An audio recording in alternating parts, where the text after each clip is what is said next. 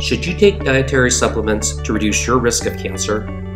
After all, if vitamins and minerals have anti inflammatory and antioxidative properties, shouldn't they prevent cancer? Numerous studies have been done, so what do the data reveal? For multivitamins, or single or paired nutrient supplements to prevent cancer, current evidence is lacking, and the balance of risks versus benefits is not known. On the other hand, supplements may actually cause harm. Taking beta carotene was associated with an increased death from cardiovascular disease and an increased risk of lung cancer. And several studies showed no benefit of vitamin E use on the risk of getting or dying from cancer.